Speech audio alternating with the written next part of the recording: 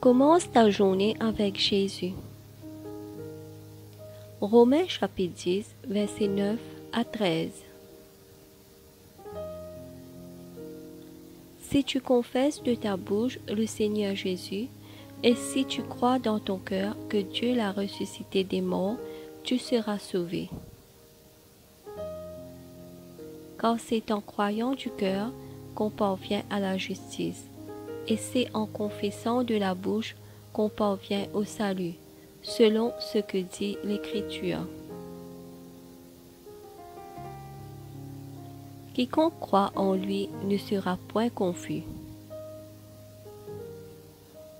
Il n'y a aucune différence, en effet, entre le juif et le grec, puisqu'ils ont tous un même Seigneur qui est riche pour tout ce qu'il invoque.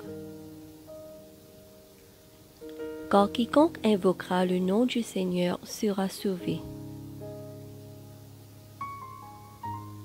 Amen.